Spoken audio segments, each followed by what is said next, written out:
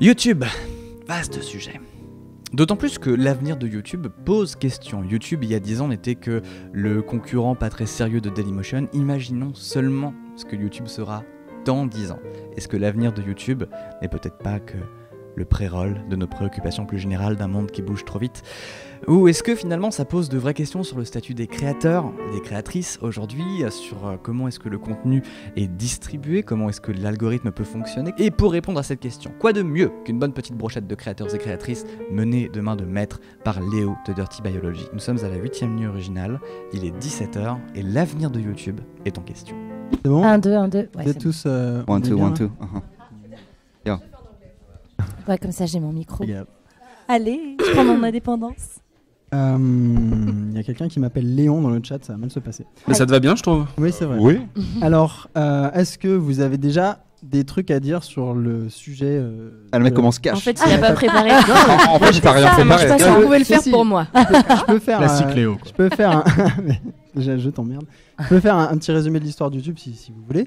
Vas-y. Ouais. Si ça te fait plaisir, vas-y. Euh, né Mm. en février 2005 euh, sous la plume inspirée de trois codeurs, YouTube naît et se fait racheter en 2006 euh, par Google. Euh, voilà. Euh, Cool. ils- ils- C'est chouette. Non mais alors, vraiment il y a, il y a plusieurs. Il y a vraiment une plusieurs belle histoire. grands- On va faire un tour de table. C'est vraiment très On, intéressant. ah, on peut faire un tour de table avant, ouais, effectivement. Pour se présenter. Je- Vas-y, alors Oui, on va faire pas ça. con. Il est pas ton con, hein. Renaud. Non, il l'est pas. Ouais, attends. Tu, le capitaine, tu veux dire Oui, oui.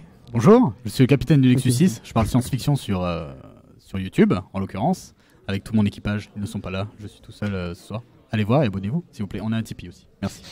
Ok. Efficace. Euh, donc je m'appelle Cyrus North. J'ai une chaîne euh, qui est autour de la philo et de l'actu, euh, pop culture, euh, ce genre de choses. Ouais, je sais pas. J'ai pas que je faut bien que je regarde quelqu'un, mon gars. Donc euh, ouais, voilà. Abonnez-vous. Hyper vendeur. Moi, C'est hyper bien, c'est hyper bien. Je fais de la vulgarisation historique. Assez classique, un peu plus drôle que Nota Bene, mais sinon c'est cool. Il y a un Tipeee, abonnez-vous. Voilà. Vous connaissez, on va pas vous la refaire. Ça fonctionne à chaque fois la blague sur notre télé. Mais Ouais. mec, genre, ça fait deux ans ça marche. Incroyable. Moi je rigole plus du coup. Bonsoir. Je m'appelle Nicolas Thomas et j'ai une chaîne qui s'appelle Pilote et ça parle de séries télé. C'est vachement bien. Je suis- J'aime beaucoup ce que je fais. Bonne soirée. Bonsoir. Je sais pas si ça marche ça. Si, si, Ouais, ça marche, j'entends. ça marche, on t'entend En fait, faut- Ok. Mais mets ton Ouais, mais cax. je trouve que c'est pire. Non, je suis Ok, ok. libre sans mon casque. L'embêtez pas. Donc euh, Manon Bril, j'ai une chaîne qui s'appelle C'est une autre histoire et qui parle d'histoire autrement. J'ai aussi un Tipeee. Tu la vends super bien aussi. dis donc. Euh, non, je vais prendre celui-là. Moi, je m'appelle Guillaume et avec euh, mon copain Pierre, on a une chaîne Bonjour, je suis Pierre Lapin. Bonjour Pierre Lapin. A une chaîne qui s'appelle Le Club. où On parle de l'actualité d'Internet et du web. Et tout qu'il cool. faut savoir euh, pour rester cool et branché. Le dernier était vraiment très bien d'ailleurs. Ouais, avec une certaine Manon. Une certaine Manon. Ouais. Voilà. Mais c'est toi, non Ah, perspicace. Merci. Juliette Trezanini. Euh, J'ai une chaîne euh, perso qui s'appelle Juliette Trezanini. Et euh, c'est- Original, voilà, T'as vu, hein, j'ai mis du temps à le trouver. Et qui, euh, en fait, est autour du court métrage euh, essentiellement. Et, euh, et on a une chaîne avec Maud qui s'appelle Parlons peu, parlons cul. Voilà, donc je m'appelle Maud et je parle de cul. Et je vais parler peu. Et tu ouvres ta Et chaîne j'ouvre ma demain. chaîne perso demain. Ah, Oh. Félicitations. Félicitations. Merci, merci. C'est ça. Oh, vous êtes mignons. Le Tipeee, du coup, ou. euh, Euh, Ah. J'ai pas mis encore en place. Pour l'instant, je le fais avec rien. C'est cool. C'est ça. Petite musique triste. Ici, ici, tout le monde poste ses vidéos sur YouTube. Il y a pas. Ouais. Mhm. Et aussi de temps en temps Non. sur Dailymotion. Ah oui. Ouais, ça plus du doublon, je sais pas. je-. Et de temps en temps sur Facebook aussi, en upload. Ah oui, oui, oui, ça oui. Ah, c'est Oui. bien. Intéressant, on va en, on en. On en. On reparlera. on en reparlera. De ta moustache aussi, on en reparlera. Non, ça on peut, on peut garder. les, gens, les gens dans le chat en parlent. Je peux Moi, je trouve que ça lui va bien. Ça lui va beaucoup trop gentil. bien. On peut rester sur le sujet. D'accord, donc euh, j'ai même pas besoin de faire l'historique de YouTube alors. T'es pas présenté ici euh, youtubeurs. Comment t'as gratté 5 minutes d'un coup Donc ouais, bon, YouTube, ça, ça fait plus de 12 ans que ça existe. Et euh, moi, il y a un truc que je trouve très intéressant dans YouTube, c'est que euh, ils sont en permanence en recherche. Cyrus me contredira pas parce que je sais que tu es assez curieux sur ce qu'offre YouTube euh, quotidien. Ils sont en permanence en recherche de nouvelles technologies euh, YouTube, c'est-à-dire ils ont offert euh, de nouvelles définitions comme la 4K, le- la vidéo en 360, ils ont euh, fait euh, même la vidéo stéréoscopique. Maintenant, c'est des programmes sur YouTube Red, donc ils ont fait euh, des programmes payants. Et aux US, ils, ont, ils viennent de lancer la télé? Voilà, ouais, il y a aussi ce. Ah ouais? ce On en parlera aussi, ouais. ça existe en France, la télé. Non, non, mais aux US, en gros. J'ai déjà vu des télés, hein. Moi, j'en ai YouTube, vu. euh, YouTube a créé une offre à 35 dollars où t'as toutes les chaînes du câble. Le premier degré. Non, mais je, je- je c'est bien pour les gens. Non, mais pour les gens. a voilà, Le premier degré sur YouTube. euh, premier sur le premier degré. Ouais, pour les gens qui savent pas forcément, euh, qui n'ont pas la news, tu vois.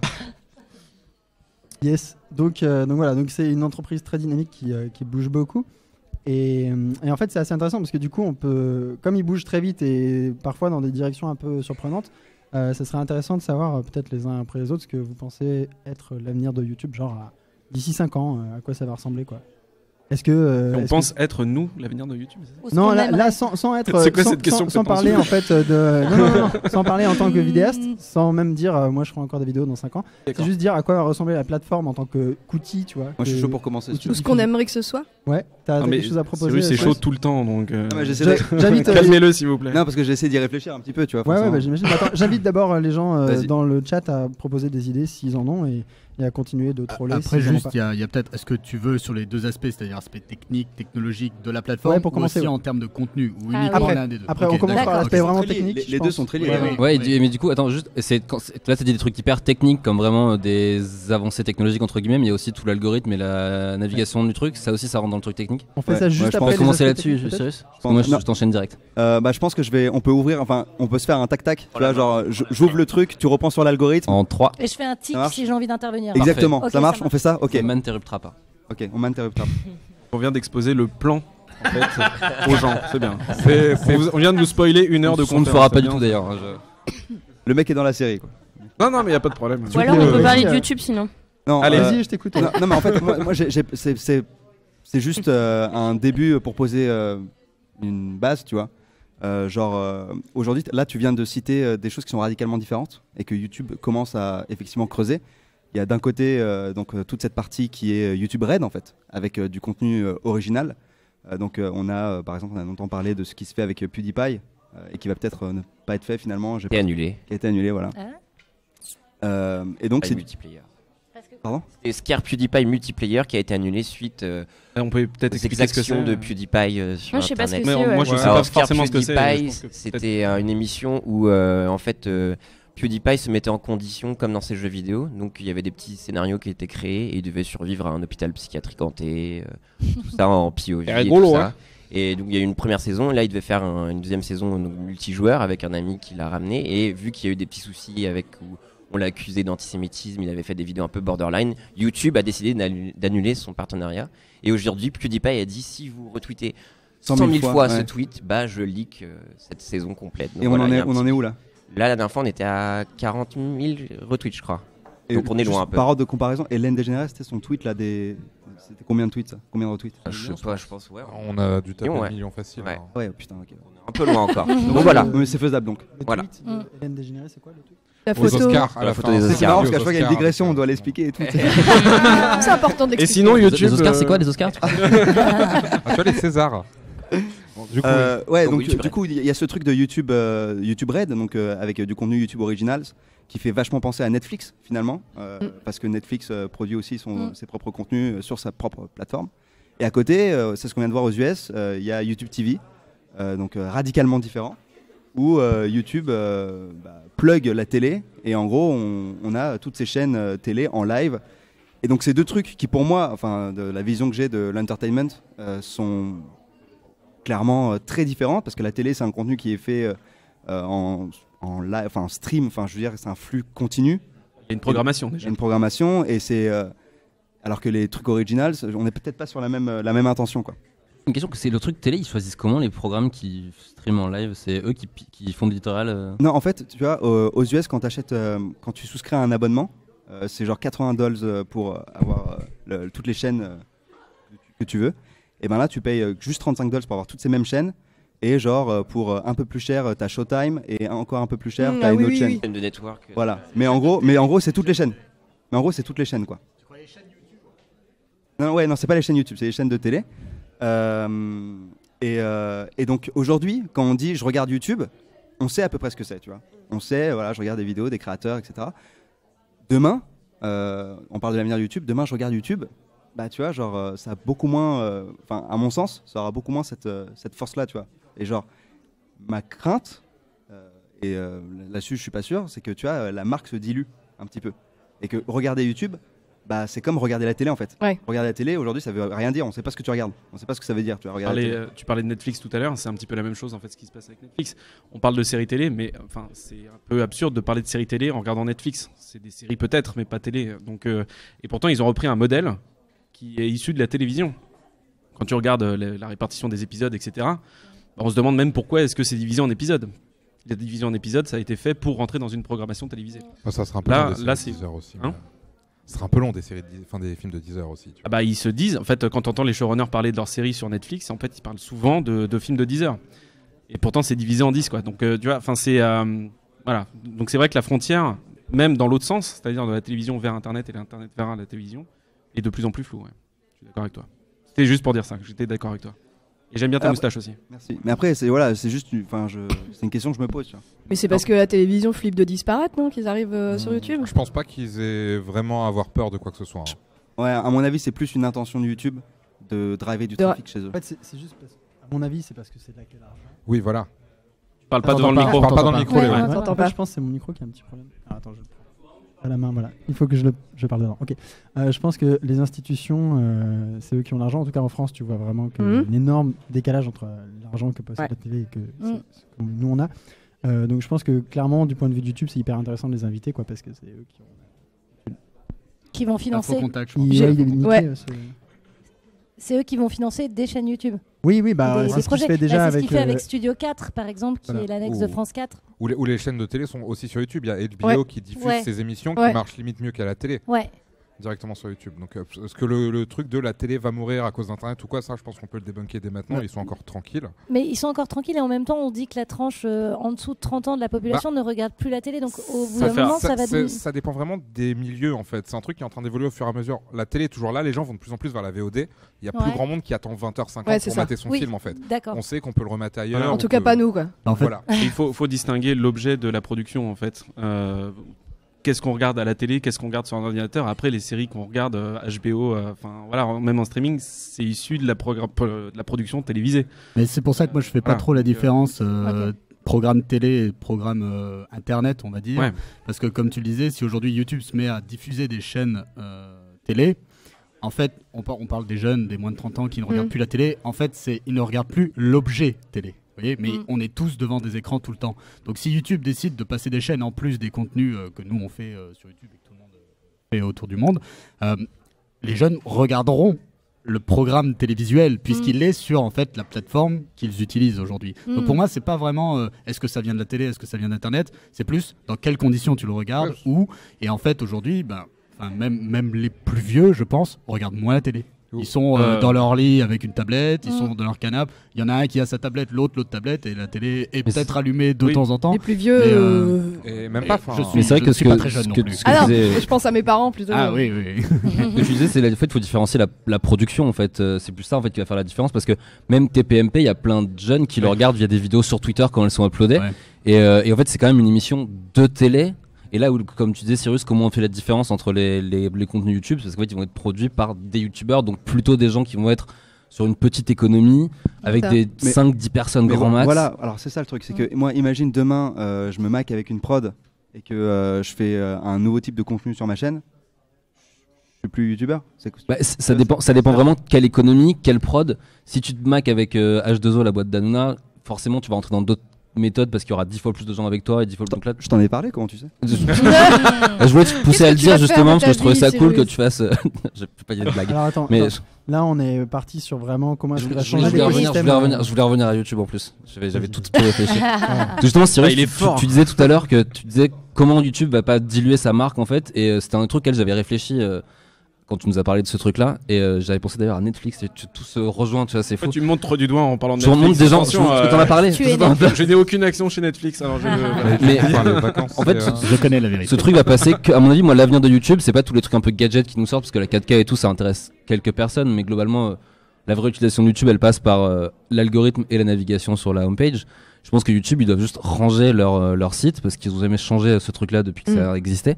Et euh, par exemple, l'exemple de Netflix, où Netflix, euh, bah, t'as des catégories vraiment, tu vois, t'as documentaire, série télé, machin, et vraiment, tu sais que tu peux déjà les chercher. Et sur YouTube, t'as très peu de catégories, voire pas du tout. Ils ont Ouais, essayé on, de. on sait à peu près pourquoi ils le font pas et pourquoi Netflix ils le, f- ils le font. Bah, je- non, mais je pense, enfin, je, je, là, je prêche pas du tout euh, pour Google. Attention, hein. C'est justement parce que je pense, on sait pourquoi ils le font, parce que ça draine beaucoup plus de vues pour eux. Mais s'ils voulaient préserver l'avenir des créateurs et donc continuer à pouvoir se vanter d'avoir des y penser, se vanter d'avoir des, tous les gens qui sont autour de la table ici, ils devraient ranger la plateforme qui privilégierait le fait que ce serait pas Ibra TV qui ferait plus de mais vues, mais potentiellement d'autres trucs, tu vois. Non, mais c'est ce qu'on c'est ce qu'on avait on a déjà discuté euh, ensemble euh, préalablement parce qu'avec euh, Guillaume on adore ces discussions là. Et en gros euh, ce qu'on se disait c'est que s'ils font de l'édito, s'ils rentrent dans un choix édito, bah du coup c'est plus une plateforme, euh, c'est pas un hébergeur, ça devient euh, ça En devient fait, un média. en sans fait. parler d'éditorialisation, juste faire genre, imagine que t'es 6 onglets sur YouTube, t'aurais euh, YouTube éducation, YouTube Mais, entertainment, mais ça, y a- mode. un peu déjà. T'as Mais il y a t'as, déjà, euh, ouais. t'as des trendings par. Euh, Ah, ils sont, euh, alors ils sont, ils sont, ils sont, ils, ils sont un peu cachés quoi. Ah non, ils sont sur la page d'accueil, mec. hein. Une fois que t'as dépassé euh, recommandé pour vous, tu scrolls un chouille et t'es sur ça en fait. hein. Ouais, mais t'as pas encore d'onglet euh, déterminé. Et puis c'est vachement par rapport à ce que tu catégories. regardes. non Oui, totalement. Ouais. Enfin, Oui, c'est voilà. l'idée. Mais c'est quand même, tu vois, il y a déjà ces catégories. Ouais. Oui, mais elles sont, elles sont déjà, elles sont proposées aléatoirement selon ce que t'as regardé. Voilà, c'est ça, ça. comme tu dis. C'est pas une ça. décision de classification. Oui, non, ça, euh, non, t'as réfléchie. Alors que sur Netflix, le menu il est toujours le même pour tout le monde. Et en plus, ça permet, et je vais finir juste sur ça pour cette, mais en fait, ça permet vraiment des découvertes parce que par exemple, je pensais dans une série, une série Netflix qui est euh, Steven Avery, Pierre. Steven Avery, euh, la série, euh, euh, le truc qui est aux États-Unis, putain, j'ai. Euh, ma- Making a Murderer. Making Ah a. Murderer, merci. Vois, bon, Making a Murderer a été redécouvert grâce aux viewers Netflix et pas du tout grâce à un push euh, d'algorithme ou quoi parce qu'en fait des gens sont allés dans le documentaire, ont cherché, ont fait putain c'est ouf. Et Il y a eu du bouche à oreille, ce qui à l'heure actuelle est quasiment impossible sur YouTube. Sauf qu'à part de mecs comme Udeo par exemple qui poussent un peu des contenus créatifs, mais sinon ouais. Alors, donc là, on est vraiment en train de parler d'un changement technique sur la plateforme, dans la façon dont elle met en avant les contenus. Euh, moi, je voudrais juste revenir sur, par exemple, les fonctionnalités, d'autres fonctionnalités techniques, genre euh, les formats vidéo qui sont proposés. Ça, vous avez absolument rien comme genre prédiction sur le futur. Euh, Est-ce qu'il y aura de la 8K Est-ce que ça Ah vous Ah oui, intéresse côté technique. pas Mais ça, voilà, exactement. Mais est-ce que ça, ça vous intéresse ou pas Euh, Est-ce que c'est est -ce c'est important quoi? Je pense Exactement. Parce que c'est. Franchement, Est-ce que selon vous, c'est ça ouais, il va y avoir plus de VR, mais. euh, Oui, là, donc la, réalité mais je euh, pense pas que virtuelle. ça- Je pense pas que ce soit. euh, Donc ça, pour toi, ça change pas parce que quand même pour YouTube, c'est un énorme investissement de développer ces technologies-là. Eux, ils le font, euh, ils ont une raison de le faire. Euh, il marche qu'à moitié mon micro. Mais du coup, à, à votre avis, ça va pas vraiment, il n'y a pas vraiment de, de gros changements à ce niveau-là, en fait. Bah, en fait, YouTube, c'est majoritairement des clips et des vidéos schlag filmés au téléphone. Donc, euh, t'as d'un T'as côté. quoi contre les vidéos schlag les- Ouais, mais ça, ça va changer justement, mec. Ce qu'on disait, c'est qu'avec euh, tout ce qui est la télé ou originals et tout, ça risque de changer ça. Mm. Ouais, mais ça, après, bah, c'est des gens qui ont d'autres moyens de production aussi, tu vois. Mais je sais pas forcément. Là, il y a de la 4K sur YouTube. Il y a plein de chaînes en 4K, mais en soi. euh, Non, mais la Je trouve que 4K, en ça plus, change c'est pas juste, grand-chose, ouais, en voilà, c'est juste une qualité d'image, mais après. Niveau euh, technique, enfin, même le 360, c'était une petite mode pendant un moment, mais ça a pas duré. Non, mais de toute façon, ça dépend toujours de ce que t'en fais. C'est comme C'est c'est comme la tra- Faut que 3D quelqu'un au cinéma, je veux dire. un- un moyen Si ton film le est pensé pour ce format, c'est intelligent. Je me souviens d'une très bonne vidéo à 360 degrés qu'avait fait. C'est euh, vrai qu'il y a avec Cyrus, un très beau décor. Parce qu'il y avait une utilisation justement pour expliquer, t'expliquer un cercle. à un moment. Enfin, je sais plus ce que tu faisais exactement. Euh, Voilà le nombre de degrés dans un cercle. Donc il y avait une logique par rapport à ça. Mais ça s'applique pas à tout. Et c'est pareil avec la VR. Les... Est-ce que, ok, on fait nos vidéos en VR, bon bah les gens pourront euh, regarder autour. Est-ce qu'il y a un réel intérêt à faire ça? Je sais pas. Donc ça c'est juste une amélioration technique gadget en fait, qui pour moi n'apporte rien en termes de, de fond. Mm. Peut-être que des gens trouveront une utilisation très intelligente de ce type de technologie, mais j'ai pas le sentiment que c'est quelque chose qui va révolutionner ou, ou apporter un vrai contenu nouveau quoi. C'est bien de l'avoir. Oui, voilà, tu exactement. Euh. Comme ça, ça donne la liberté au créateur, si eux, de faire, euh, de faire ce qu'il veut. quoi. Ouais, S'il a envie de faire de la VR, Mais il je fait de pense pas que ce mais- soit fatidique sur l'avenir de YouTube. en Ouais. fait. Du coup, alors, mais c'est intéressant ce que, ce que vous dites, parce que je pense qu'il y a un, un aspect sur lequel YouTube est en train de se placer tout de suite, c'est sur, par exemple, les lives. Euh, Ouais. Et ça, c'est vraiment une nouvelle technologie, une nouvelle façon de diffuser des trucs. Euh, D'ailleurs, on est en plein dedans là. Oui, c'est vrai. C'est. Et ouais, Ah, c'est waouh, méta, en fait, ce qu'on fait, là. ouais. Ah. Et ouais. Et donc en fait, ça, je pense que ils le font pas pour rien et on pourra peut-être en parler plus tard. Pourquoi est-ce qu'ils se placent sur les lives et ce genre de trucs Mais est-ce que ça, par exemple, vous pensez que ça, ça peut changer l'avenir de YouTube? L'introduction du live, le don en, en ligne, enfin en live, tout ça, ce genre de Bah, c'est c'est déjà hyper démocratisé le live sur internet. quoi. Mm. Donc, euh, du coup, changer l'avenir d'une plateforme entière, peut- peut-être, j'en sais rien, mais enfin, je pense que c'est un outil encore supplémentaire qui, pour le coup, va être utilisé. Oui, je pense que Bah, ça, après, ça, ça va pas être fait, fait. uniquement gadget, quoi. Parce que là, typiquement, on est majoritairement sur des lives où c'est des gens qui lancent ça de chez eux. etc. Non mais bien sûr, mais Euh, c'est comme trucs, quand tu disais, il y a des vidéos schlag de, C'est de, ça, de oui, chats. voilà. Je pense qu'il y aura des vidéos schlag de chats en live, quoi. Mais euh, Oui. pour le coup, il, Ou- il peut y avoir il y en a trucs. Ou alors des trucs plus, bah, justement, Hein la- Ça dit Ça existe déjà, ça existe déjà d'ailleurs. Ah oui, probablement. Il y a un mec qui Bible, filme ils font son chat en permanence. euh, Ah ouais Tu peux y aller, le chat se balade dans la pièce. Donneras ça le lien, t'inquiète. Mais, euh, Comment perdre sa vie euh, Et donc on ne juge pas, s'il te plaît. Non mais voilà, enfin, je pense que cette fonctionnalité-là, elle devait venir. Je veux dire, c'est utilisé dans tous les le live. Enfin, t'en as partout sur Facebook, etc.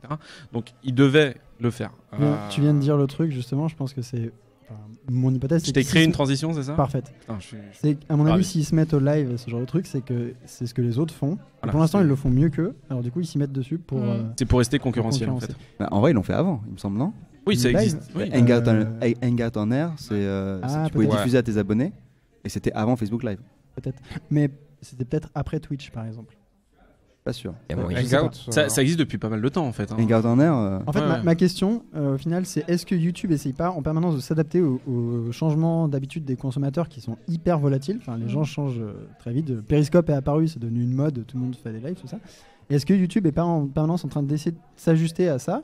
Et, et est-ce que ça, ça pourrait pas genre dessiner le futur de ce que devient YouTube? Est-ce que YouTube, un jour, ça sera pas exactement comme un Facebook où tu as des lives, où tu retrouves plein de vidéos Enfin voilà, est-ce que ça ressemblera encore à la plateforme qu'on a aujourd'hui? En fait, la, la, la question qui pourrait lancer ce truc-là, c'est est-ce qu'on a un souvenir d'une avancée technologique proposée par YouTube qui, aujourd'hui, où on se dit putain, ils ont quand même ramené ce truc-là, c'est ouf.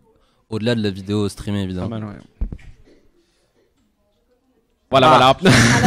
Mais en vrai, en vrai, Merci.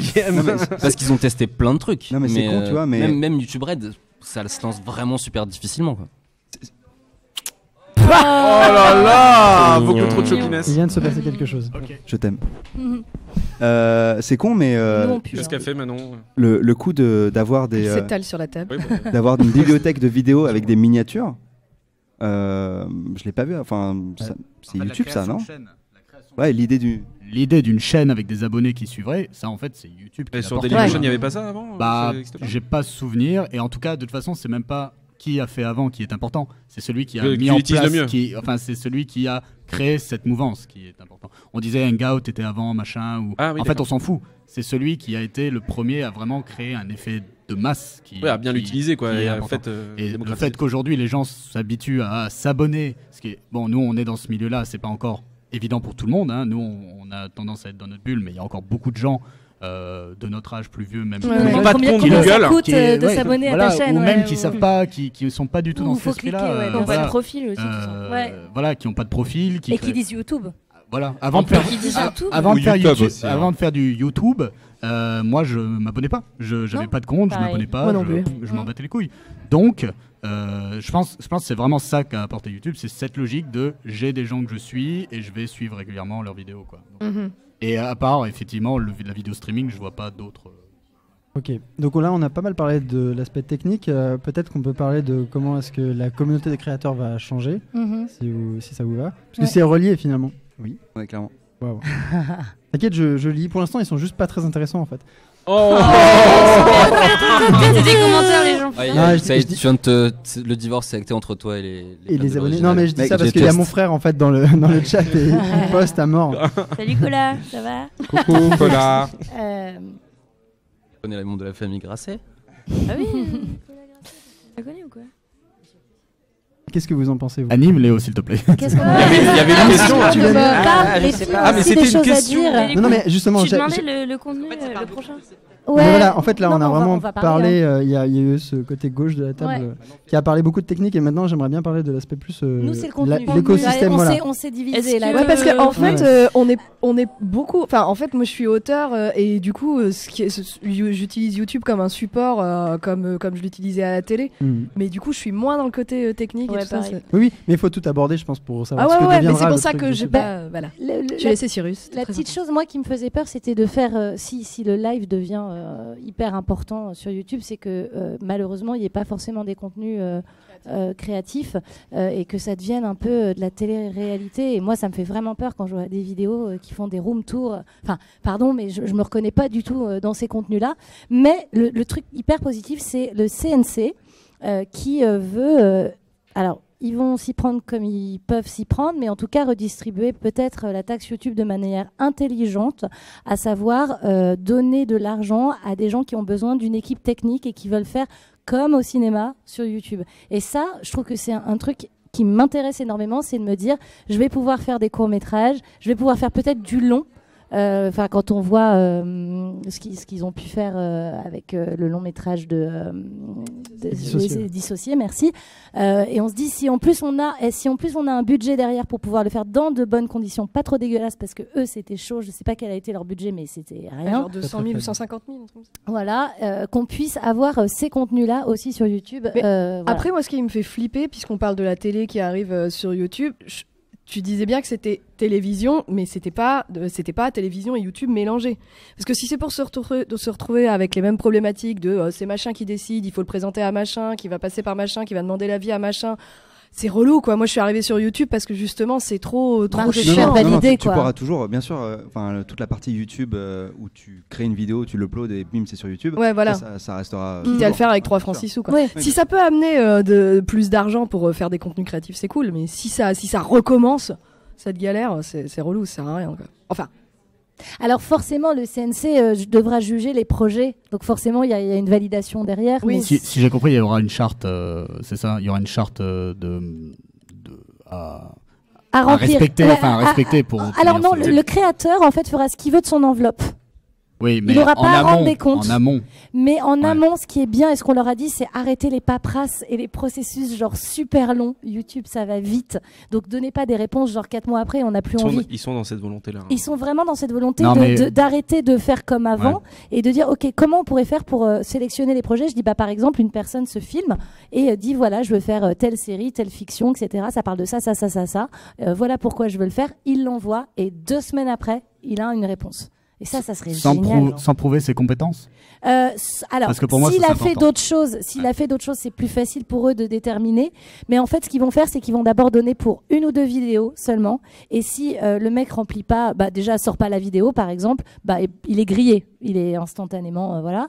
Et s'il fait vraiment de la merde, bah il est grillé aussi. Donc en fait, euh, ils vont pas trop se mouiller. euh, ça va leur coûter peut-être 3000 Tu euros. parles de fiction, il y a aussi euh, tout le reste aussi. Enfin, il me semble qu'ils sont pas que orientés fiction. quoi. Euh, non, fiction ou documentaire. En fait, tout ce qui, n'est pas face cam, tout ce qui Ouais. n'est pas. euh, tout ce qui nécessite un peu de fric. Tout ce qui nécessite une équipe technique. Je dis en fait. fric. Fric. J'ai dit ce mot. C'est un mot des années C'est 80. sale. ouais. Ah ouais. Tellement. Sale, sale, sale, Et après, tu critiques mon ouais. J'aurais pu dire oseille. C'est ouf. juste- justement, euh, j'ai une question Grisby. qui vient du chat. C'est de Eileen Sen Gabelson.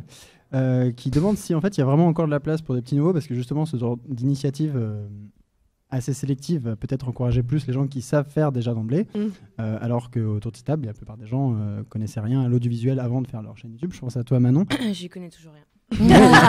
Oui. Et du coup, est-ce que, vous- est-ce que vous pensez que dans le futur, euh, commencer une chaîne va être plus difficile? Est-ce que, genre, si on prend le YouTube de dans 5 ans ou 10 Ouais. ans, les, les nouvelles chaînes qui vont arriver seront quasiment que des chaînes soutenues par une prod avec des, des réals derrière J'espère pas. J'espère oui, c'est pas. ça. J'allais dire, J'espère que, que ça va continuer. J'espère qu'ils vont justement soutenir, en tout cas pas les gens qui ont déjà des millions de vues. Le but, c'est justement de, de faire émerger des, des talents nouveaux, euh, des gens qu'on fait, connaît a- pas, euh, d'a- d'aider les gens qui en ont, qui en ont vraiment besoin. Trouve qu'il y a deux problématiques. C'est à la fois la problématique technique, genre faire une vidéo et savoir bien la faire quand t'es tout seul et que t'as pas de savoir-faire, c'est compliqué. Donc c'est vrai que CNC peut t'aider aussi, mais la problématique de percer aussi, juste de te faire connaître. Là maintenant, un mec qui fait créer sa chaîne, même si ça peut être pour le concept euh, de l'année, même et qui veut pas faire du putaclic ou du clickbait et qui connaît personne, genre il connaît aucun youtubeur qui a un peu d'abonnés qui peut l'aider, Mm. le soutenir. Comment il comment il explose? Et Ouais, pourquoi c'est il très faudrait long. pas faire c'est- putaclic C'est compliqué, c'est impossible. Honnêtement, Et Quel est l'intérêt de faire des vidéos si tu fais pas de putaclic? Explique-nous, s'il c'est- te plaît. C'est vrai que, euh, pour rebondir sur ce que tu dis, Guillaume, je sais pas si vous, vous avez ce feeling autour de la table, mais moi j'ai l'impression que si je commençais, euh, genre euh, le, le format avec lequel euh, j'ai commencé à, à me faire connaître, c'est-à-dire le coup de fil, si je le commençais maintenant, mais mort, Mm. genre euh, je serais pas autour de cette table. Enfin, c'est la sensation que j'ai. Mm.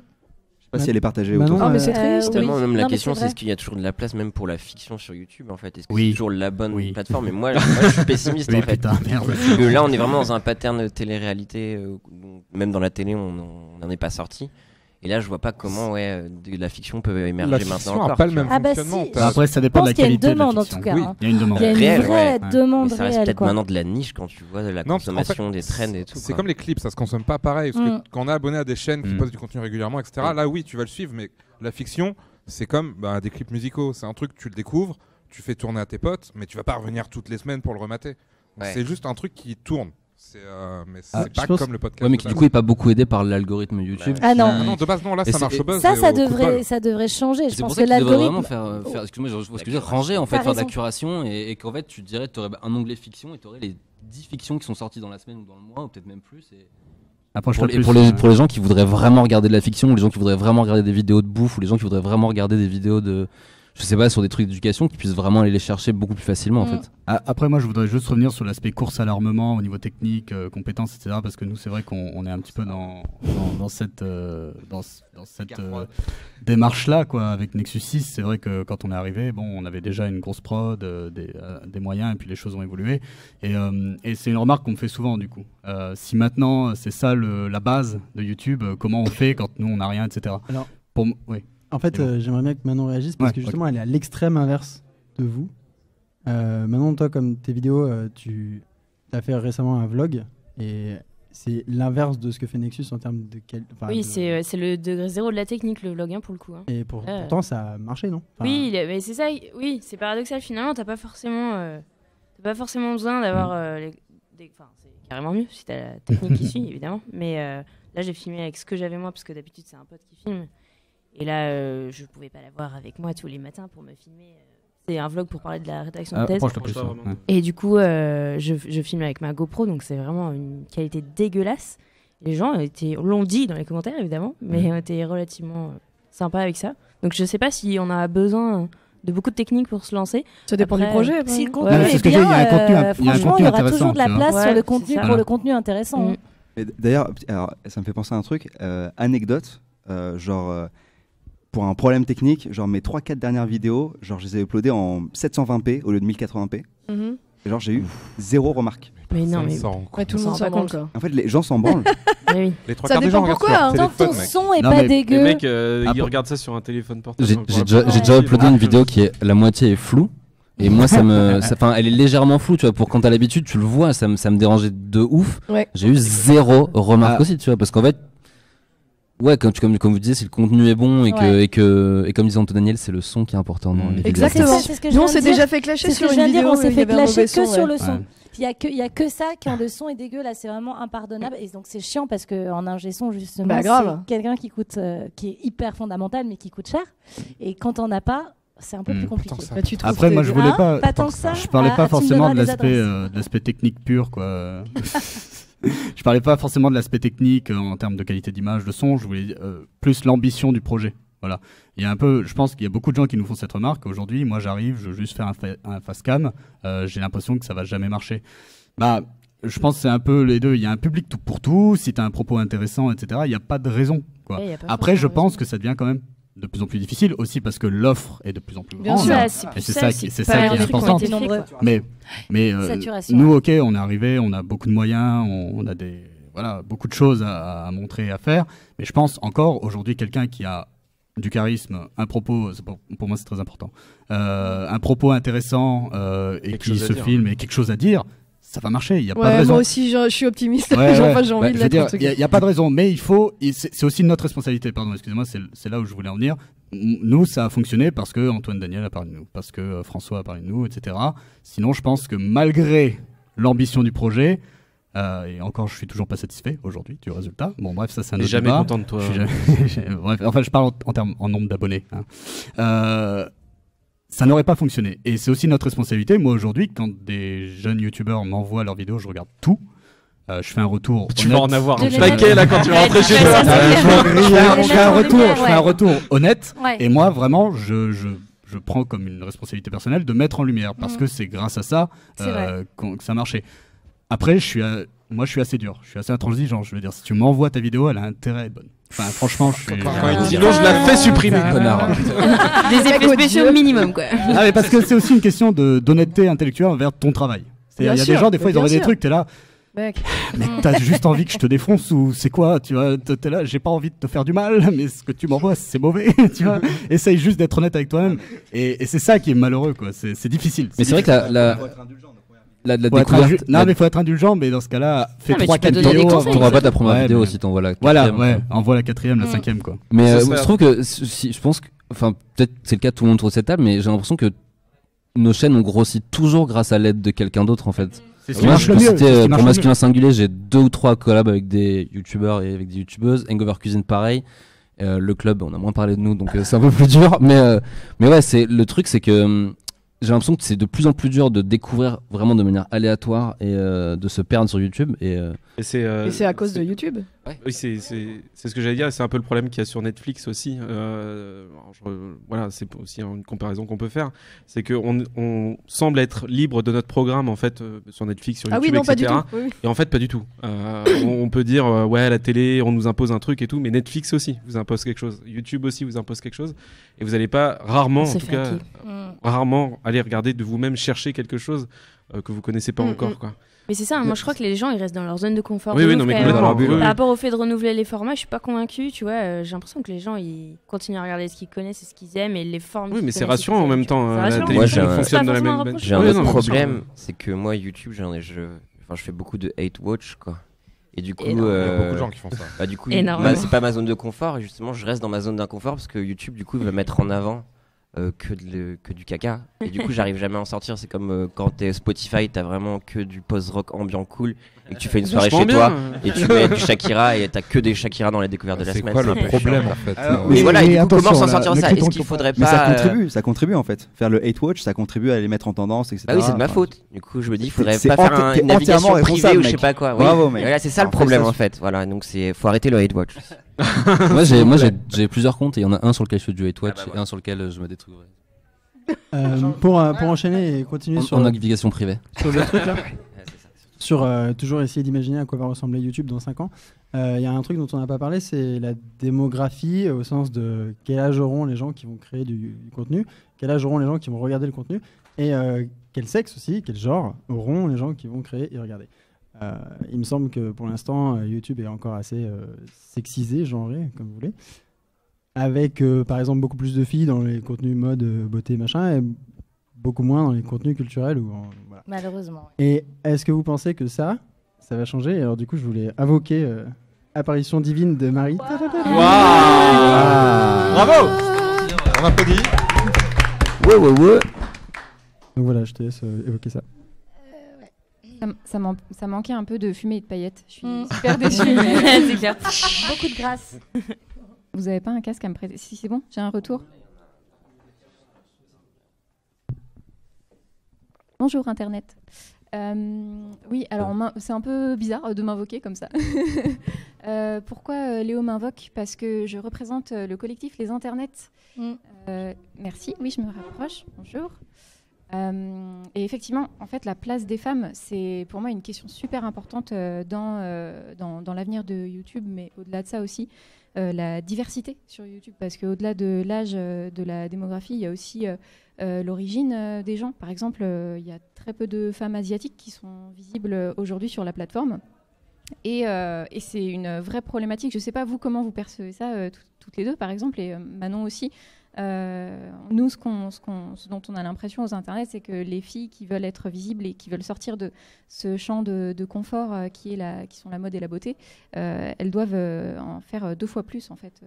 Je sais pas, j'ai j'ai pas l'impression que ce soit. Enfin, je sais pas, j'ai pas l'impression que ce soit plus dur pour une fille d'être visible. enfin, c'est clair qu'il y a moins de meufs euh, qui font des trucs euh, plus variés, on va dire. Ça, c'est clair, mais j'ai- je suis pas sûre que ce soit plus dur pour une fille d'être plus visible. Enfin, plus ou moins dur qu'un mec qui commence. J'ai pas l'impression particulièrement. Faut être partagé, c'est pareil. Mais... Bah, le problème, malheureusement, c'est que je pense que euh, au départ, ils vont se dire c'est un programme de meufs, les mecs. Ah Bizarrement. Oui, alors que nous, on se dit Bon. pas ça. Alors que nous, Exactement, on se dit ouais. pas, euh, on regarde les 4, Ah on non, dit pas c'est un un programme de- de mecs. Mais, ça dépend du titre de la vidéo et Non, tout, mais la pas. première, la première idée, et je te parle pas Ouais, du tout ouais. tous les mecs, après, ils vont être sûrement agréablement. En tout cas, nous, c'est ce qui s'est passé pour nous. Ah oui Euh, et après, il y en a plein qui ont été euh, finalement agréablement surpris en disant voilà, on peut aussi. euh, c'est présenté par deux meufs, mais ça. On a mis pas du rose, qu'aux meufs. et du coup, c'est mort. Ouais, Et voilà. peut-être Ouais, plus on aurait ça à la peut-être dû, euh, limite, faire non attention. C'est peut-être plus ce genre de cliché là, genre il y a du rose dans votre titre ou quoi, et du coup c'est pour une émission pour pas, meufs que c'est une meuf qui est présente, donc c'est une émission pour meufs. Euh, je non, pas. par exemple, bah, moi j'ai commencé avec Good Monique, euh, Ouais. c'était trois Ouais. femmes, et on nous disait ouais, c'est une web série de filles, et on était mais absolument pas. En plus, on parlait pas du tout, ni, enfin, Ouais, c'est pas du tout genré. On parlait euh, de de, de, de, De la vie. société, de la vie, et, euh, et on a mis mis du Ouais, temps euh, et ça a d'ailleurs pas vraiment décollé. On a dû arrêter la chaîne. Ouais. Et on avait euh, très très peu de, de- de garçons. qui Et oui, alors j'allais vous demander, dans vos abonnements, du coup, vous avez peu de mecs? Alors ça y est, maintenant Ah, on si, est à carrément, 50-50. ouais. nous. Ok. Bon, je Ah sais oui, pas, je sais pas si chance, 50 ça y est. 50 Ouais, parce ouais. que- Je dirais je dirais 40 60 au départ on est à on était à 50 50 maintenant ça ça mais c'est toujours à peu près euh, ouais. Moi, je suis- C'est pour ça que je suis C'est pas genre étonnée de- 10 10 Ouais, Non, 10 c'est pas, c'est 90. pas- ouais, Je ça suis étonnée parce que moi, j'ai genre un quart euh, de filles qui me regardent, quoi. Trois quarts de mecs, un quart de Ah ouais. Et en vulgarisation, on est tous comme ça. Ah ouais. C'est peut-être à c'est peut-être- c'est peut-être 100%. c'est peut-être lié au, au genre de vidéo parce que moi masculin singulier j'étais à 80 meufs pour 20% mec quoi. Non, c'est pas mal. parce que Allez, moi, ouais, science-fiction, ça, parce que t'es beau. on- 11%, et j'arrive pas à aller plus haut. J'arrive pareil pas à faire comprendre aux tous, femmes ouais. que la science-fiction, c'est pour elles aussi. Quoi. Enfin, c'est- Ouais, et les femmes, en fait, Ah regardent beaucoup les, contenus de mecs euh, et les, les hommes aussi. Mais les femmes regardent assez peu les contenus de meufs, ce qui Mm. explique Mm. aussi qu'elles euh, sont assez peu visibles et, Et, qu'elles remontent pas. Et la télé entretient ce truc-là aussi. Complètement. Les programmes, pour- enfin, entre autres pour enfants, parce que je, mets, me renseigne un petit peu là-dessus en ce moment. Mhm. Il y a vraiment. J'aime Des... bien les enfants. Ouais, J'aime- J'aime beaucoup les enfants. c'était très bizarre comme Les phrase. Alors attends, Cette phrase, on- on sortie va- de son voilà. contexte, c'est très bizarre. C'était dans un contexte. Tu Donc, euh, veux nous annoncer un truc, Nico Ah, non, non, non, du tout. Et donc voilà, non, ça, ça entretient vachement ce- ces, ces préjugés-là et ces, ces clichés-là. Et c'est vraiment qu'ils baignent dedans et ça boucle en fait. Il Ouais. n'y a pas de, Bah, déjà, il faudrait y a pas de réflexion dessus. Pardon, vas-y. vas-y. Non, mais il y a aussi un autre problème euh, qui fait peur aux, aux femmes, c'est les insultes. Oui, ça, par contre, euh, c'est quelque chose qui est. C'est chaud. Plus ah oui, non, mais bien sûr. Moi, j'ai Ouais. du bol, j'ai très très peu de trucs comme ça, mais vous. vous- Ah bah nous c'est Avec ça. le Ah sujet, bah, à probablement. partir du moment, enfin on nous a dit à partir du moment où t'es une nana euh, qui, qui affirme des choses euh, et qui va parler de cul, c'est mort. Déjà que tu peux te faire insulter pour expliquer comment tu mets ton vernis, pas comme moi par exemple. Ouais. Euh, à partir de là, tu te dis bon, ça va être, ça va être compliqué. On a eu plusieurs insultes. Ça, franchement, ça fait grave chier au Mm, départ, et, euh, et c'est, euh, c'est, très difficile de se dire, ah vas-y, je m'en fous. Aujourd'hui, je me dis c'est pas grave. Euh, Quand on en a une, genre la dernière fois, on nous a traité de dépravés. Je fais, ah tiens, dépravé. En un an et demi d'émission, Bah, j'avais tu, peux pas apprendre celle-là. tu peux apprendre plein de nouveaux, nouveaux mots finalement. Dépravé, on l'avait pas- on l'avait pas trouver le côté pratique du truc. Est-ce Mais ça, ça peut être décourageant. lisser, par exemple? Est-ce que les gens vont être de plus en plus Ouais. euh, éduqués entre Putain, guillemets dans les. C'est- Bah, commentaires? Alors là vraiment, je pense, pas du tout. Je pense que c'est- je pense que là on n'est pas on n'est pas du tout sur la pente euh, ascendante à ce niveau-là. Non, au Ouais. contraire. Moi, j'aimerais J'ai J'ai tellement. l'impression que ça, ça se vit. Mais ça c'est un truc qui, qui a une résonance avec la société d'aujourd'hui, c'est que Ouais. t'as une tendance au virilisme, à, à l'hétéro euh, pride euh, Ouais. et, au, et, au, et au réactionnaire. Donc euh, maintenant, moi je trouve que c'est même de pire en pire. C'est-à-dire que non seulement déjà, bon, les filles c'est horrible pour les filles, mais dès même que t'as l'air un peu efféminé ou dès lors que tu fais euh, des vidéos un peu différentes et que t'es un peu différent, tu te fais défoncer par euh, tous les mecs. Mais quoi. Enfin, you- je- pourquoi YouTube a- enfin, prend pas la responsabilité Enfin, Ouais, Quand, c'est quand- ça, quand je je vois ce qui s'est passé pour Marion Seclin, c'est c'est horrible. Mm. C'est pas, enfin, c'est grave même. Est-ce Et- que, euh, pour euh, rebondir à ce que tu disais, C'est euh, grave, ouais. est-ce que c'est pas eux qu'on entend le plus en fait finalement? C'est c'est con comme question. J'ai peut-être un, un regard un peu naïf du truc, mais c'est peut-être euh, juste des gens qu'on entend beaucoup, quoi. C'est tout. Et, Tu veux dire qu'ils soient, qu'ils sont pas si nombreux que ça, mais que c'est eux qu'on entend le plus. donc- je suis sûr, ils Ah, sont, ils certainement nombreux, ils sont certainement en trop fait, nombreux, ouais. mais euh, qu'on entend beaucoup, Mm. plus que les autres en fait. Bien sûr. Je sais pas, c'est peut-être extrêmement naïf. je me demande mais- si Bien sûr, mais c'est- YouTube a une responsabilité, je pense, par rapport à Oui, ça, oui, de, fermer Ouais, les comptes. De... Alors après, ils sont là, ouais, liberté d'expression. Non, désolé, non, c'est pas c'est pas une d'expression, liberté insultes, il faut leur dire ça, que les insultes, c'est pas une liberté Mais il y a d'expression. peut-être une éducation mais- qui va se faire dans ce sens-là aussi, je sais pas, hein, que tout comme on, on éduque de plus en plus les gamins à faire attention à ce qui se pose sur Facebook, etc., ça commence à rentrer dans les, dans les programmes éducatifs, etc., ça, Mm. ça va peut-être aller de pair avec ce genre de choses. En fait, il faut qu'on. Peut-être enfin, optimiste, Guillaume. je pense, ouais, Guilhem, je pense qu'il faut qu'on ait de l'espoir là, parce que sinon, Bah, en- nous, on sert à rien. Non mais, ouais, mais je- moi je pense qu'il faut, il faut essayer, il faut, il faut, en fait je pense qu'il faut les signaler et les, et Essayez les, les filles, vous verrez et les bien. pointer du doigt et, et- et nous les garçons on doit aussi vous soutenir dans ces trucs là et tout mais en fait j'en parlais avec euh, quelqu'un de chez Google il y a pas longtemps euh, Ah bah encore. Allez, tu parles Bravo. à quelqu'un de chez le Google. community manager de chez Google. Je- non mais il me disait- et c'est vrai qu'on en parlait parce que on, on parlait justement de Marion et moi aussi j'ai eu des problèmes avec euh, ces gens là et euh, et pour l'instant, la seule solution à ce que ça change, c'est qu'il y a un drame en fait. C'est que C'est soit il y a une ça. condamnation, soit il y a un suicide, soit ça finisse à ce que quelqu'un se fasse taper dessus dans la rue. Parce que, genre, par exemple, Marion, ça lui arrive quasiment tous les mois que dans la rue, elle croise des mecs qui l'insultent Mais bien physiquement sûr. en fait. C'est même plus. euh, Mais ça fait des mois que ça dure. Du coup, en fait, là, on est en train de faire une super boucle. On est en train de faire une super boucle parce qu'on a parlé de, de technique au départ. Et là, on est en train de redire que pour que le- les écarts dans la démographie, donc en fait de- les écarts de genre dans les gens qui produisent et qui regardent du contenu, il faut que la technique s'ajuste, c'est-à-dire que l'algorithme propose. exactement. C'est ça. Voilà, Alors, donc en fait, YouTube a sa responsabilité Oui. et il ne doit pas faire semblant d'être un média neutre en fait. Non. Mais c'est ça. il peut Oui. pas- Sous couvert de- de- de- d'expression, euh, de- libre peut- expression, Il je sais peut pas laisser passer ça, que ce soit des propos racistes, que ce soit des propos homophobes, que ce soit des propos sexistes. C'est peut-être la fini, oui, quoi. qui va se peuvent, ils pas euh, laisser passer ça, c'est pas possible. Je suis entièrement d'accord avec toi. Euh, je- Par contre, c'est un, problème bien plus profond que ça, et je pense que c'est vraiment un, un remaniement, enfin, une sorte d'éducation qu'il faudrait refaire en fait, parce que ça concerne même pas que YouTube. Ouais, c'est juste hein. un symptôme. C'est euh, c'est- voilà, c'est un symptôme de beaucoup de choses. Alors interdire, euh, enfin permettre de, euh, de légif- légiférer au niveau de la plateforme, etc. Oui, mais euh, il f- c'est pas en, juste en coupant le, le robinet que tu vas arrêter de. euh, En, en fait, il faut faire évoluer la plombier. société en même temps. Merci. Voilà. Voilà, c'est c'est- c'est- voilà, Ah, c'est bah oui, non, bien Alors, sûr. c'est qu'on c'est peut-être des de belles faire, paroles, en etc. Mais je Non, pense non, que c'est central sûr. et c'est ça le problème en Élevez fait. vos gosses, Euh, merde. Nous, nous, aux internets, ce qu'on dit, c'est que euh, on agit pour la liberté d'expression et d'opinion des femmes sur Internet, et on en fait un problème sociétal qui ne se limite pas euh, à la simple plateforme euh, YouTube. Et effectivement, quand on apprend à des gamins à la crèche à jouer avec certains jouets, à faire cer- certaines activités en fonction de leur genre, on sait que ça va déterminer cette prise de parole là aujourd'hui. Il y a des études qui le montrent. Donc tout est lié, et effectivement, il faut d'abord que ça passe par l'éducation à l'école et au niveau des parents aussi euh, et des proches euh, pour que ça avance sur Internet. Mais c'est fou qu'on reproduise ça sur YouTube, qui est censé être une plateforme où, où on peut prendre le pouvoir, où on n'est pas euh, bloqué comme à la télévision par des producteurs, Ouais. par des diffuseurs qui ont leur vision à eux, quoi.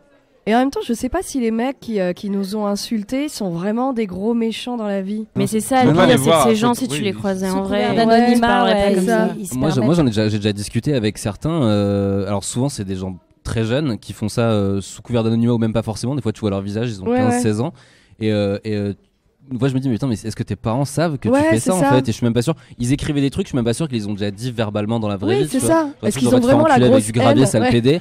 Timothée, 16 ans, je suis pas sûr qu'il ait déjà dit, tu vois. Et, Je suis pas sûre. Et, euh, et moi, j'ai déjà discuté même avec des gens. Je je me rappelle même d'un où j'ai passé une heure à discuter avec lui. Ça a commencé comme euh, ouais, petite pute, tu t'es bien fait par- mettre en place par euh, on sait pas qui. Enfin, on verra qui. Enfin, je vais pas dire qui. Est-ce qu'il est autour Et, j'ai- deux screens. C'est Voldemort. Et j'ai- et j'ai deux Désolé. screens de conversation à une heure d'écart. Le le screen d'une heure après, c'est genre ah bah cool mec, c'était hyper cool une conversation ce qu'on a eu ensemble, tu vois. Ouais. Du mec. Ça c'est- de l'éducation aussi. Ouais, et, en fait, les mecs, non, déjà, ils se rendent pas compte que quand ils, quand ils insultent quelqu'un, il y a quelqu'un qui va lire parce que C'est ça. on, est- on lit les commentaires et qu'en plus, bah ouais, euh, c'est. Il m'a dit ouais, je partais pour faire un petit troll. Mais mec, tu m'as juste insulté, tu vois, genre c'est pas. Oui, mais c'est ça, c'est qu'il y a quelqu'un qui le reçoit en fait. Et ça Ouais. peut faire mal. Et ça pas forcément. Alors, coup, pour- que- pour revenir pardon. dans le sujet, parce qu'on parlait du futur de YouTube et pas l'état actuel de YouTube. Et, et en fait, qui m'intéresse, c'est est-ce qu'à votre avis, euh, ce genre de comportement, les gens, ça va changer dans le futur ou, ou pas?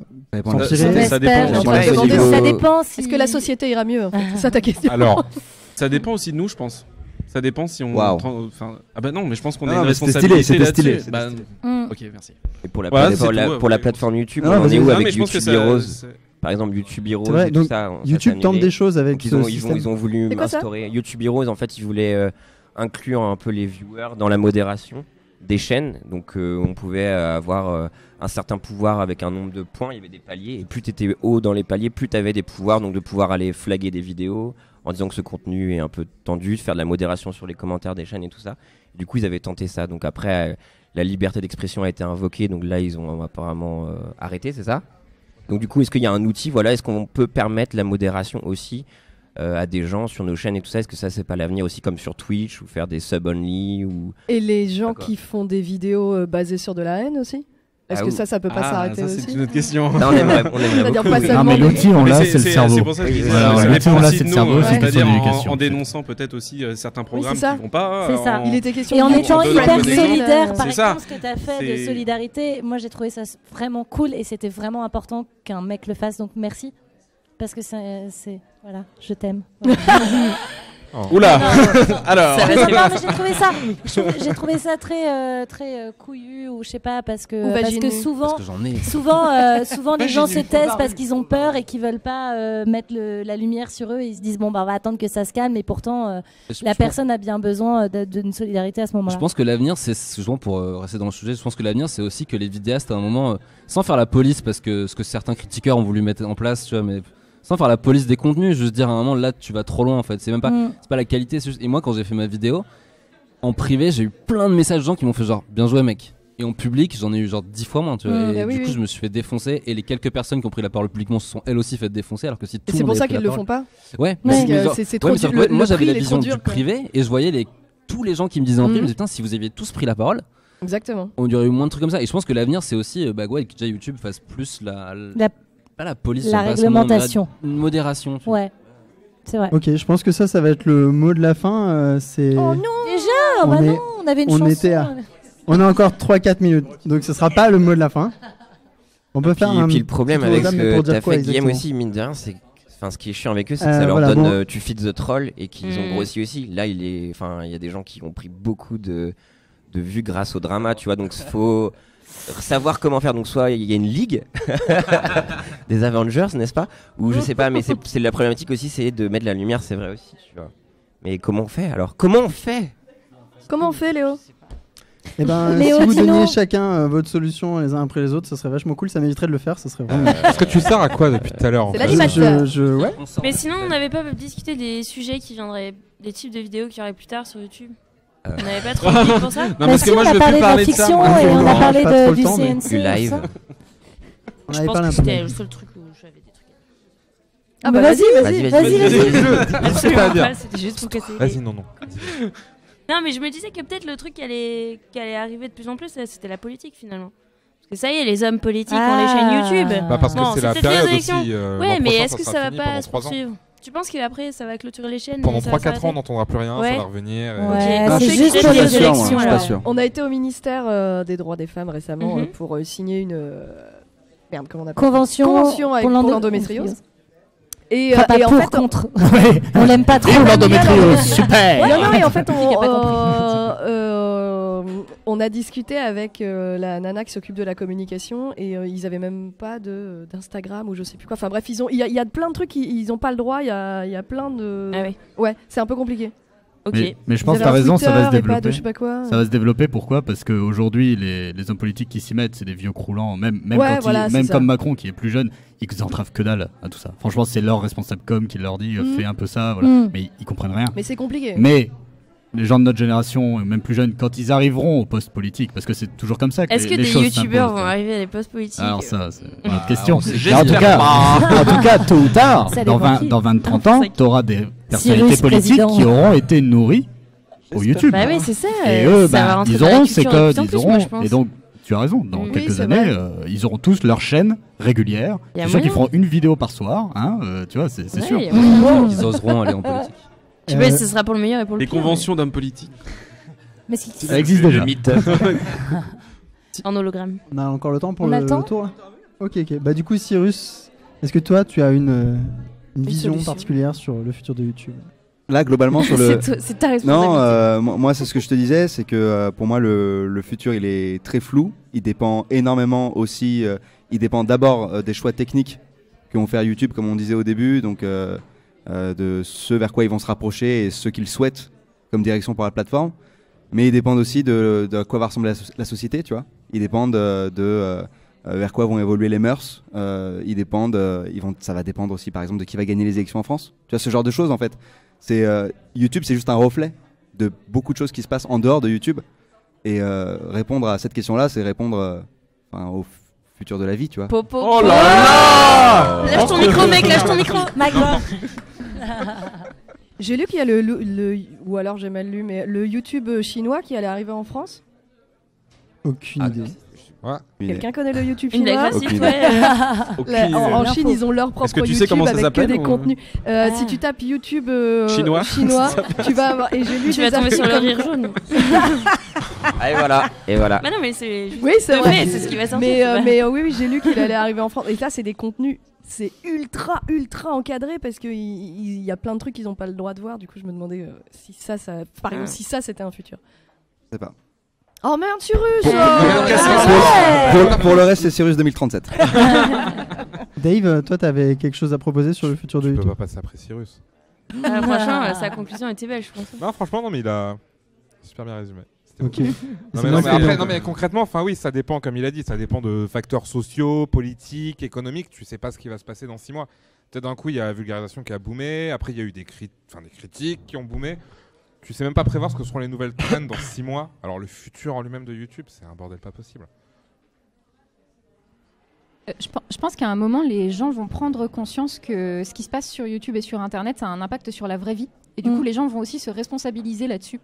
Et je suis persuadée que ça- on va mettre du temps à y arriver, mais on va y arriver. Ça, je pense qu'ils le, savent- positif. ils le savent déjà. hein, Les, euh, les, les mecs du JVC, ils savent très bien que ça a un impact sur la vraie vie et c'est pour ça qu'ils font tout ce qu'ils font, je pense. Bah, j'ai l'impression qu'ils mesurent pas nécessairement quel, tu vois, la, la gravité de, des actes euh, qu'ils euh, font. Euh, et que s'il y avait des sanctions aussi peut-être euh, plus dures parfois euh, sur euh, des choses qui sont très graves, on arriverait euh, à les responsabiliser un petit peu plus. Mais il y a un moment où cette barrière va être franchie. Je sais pas quand. Et pour parler de positif, de plus en plus de chaînes qui parlent de culture, de tolérance, de respect, qui apprennent des choses. Oui, ça, alors, ça c'est vrai que c'est marrant. T'as l'impression qu'il y a ça, plein ça serait de- très très chouette. J'ai l'impression qu'il y a plein de gamins qui. Enfin, je me rappelle de- de- de- d'avoir lu des commentaires avec des gens qui, qui discutaient entre eux. Et, euh, et un qui avait mis à un moment euh, Bon, allez, je vais réviser mon bac. Et un autre gamin qui avait répondu Moi, j'ai pas besoin, j'ai YouTube. Et en fait, c'est vrai que pour le coup, par rapport à l'éducation, je sais pas On a une comment ça se passe, mais. il y a une euh, non, non, mais. quelque part, c'est ça que Ouais, Ouais. c'est ça. C'est un peu Non, mais il y a peut-être quelque chose à- C'est des choses que nous on va pouvoir dire qui vont peut-être plus entendre Ah, que leur vrai. prof de bio ou que leur prof de et, et Bah, c'est pas- cool du coup enfin Ouais, c'est dangereux. C'est C'est pour dangereux.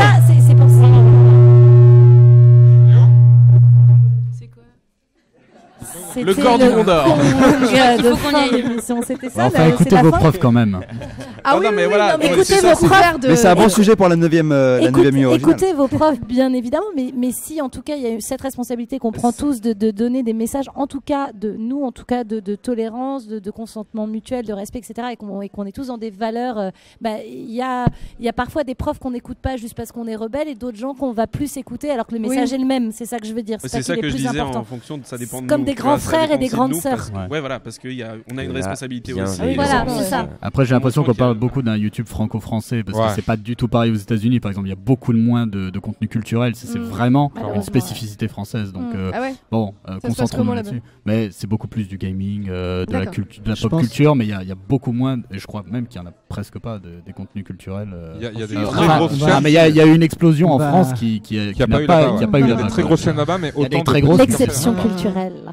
Va arrêter là. Merci. Ah, attends, tu voulais faire le mot de la fin Ouais, vas-y. Non, c'est juste parce que tu vois, j'étais assez d'accord avec Cyrus. Je pense qu'on est vraiment sur une espèce de, de, de carrefour de, de l'avenir de YouTube où soit en fait, parce que Google ils s'en foutent, ils font autant de vues que, enfin, quelle que soit la solution qu'ils prendront, ils feront autant de vues. Même je pense qu'ils en font plus maintenant avec le format que trending et ça brasse de ouf.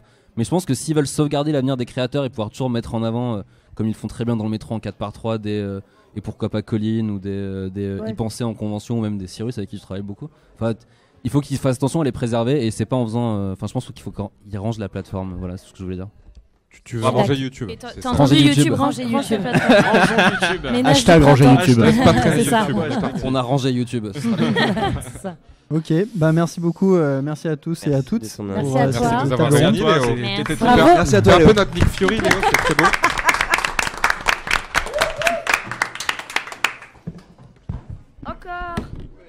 Pour la suite, parce que du coup, j'ai j'ai encore un. Je peux Ok, oh trop bien. Hmm, je, sens, je sens encore, je sens encore la présence du bon Léo sur cette. Ah oui, oui, absolument. Je sens encore le bon Léo là-dessus. On se laisse 3 minutes pour l'installation. Pendant ce temps-là, on ne coupe pas les micros. On va juste les laisser tel quel, mais avec une petite musique de piano par-dessus. Les gens vont s'installer. Voilà C'est mode Oui, allez. On arrive dans 5 secondes, le temps d'installer la prochaine heure qui va parler de bien de musique, ma foi. Peut-être un petit bœuf. Non, un petit bœuf, un petit bœuf. Et si on est végétarien qu'on fait de la musique quand même, je vous laisse avec cette blague. A tout de suite, bougez pas. Et merci d'être là. Oui.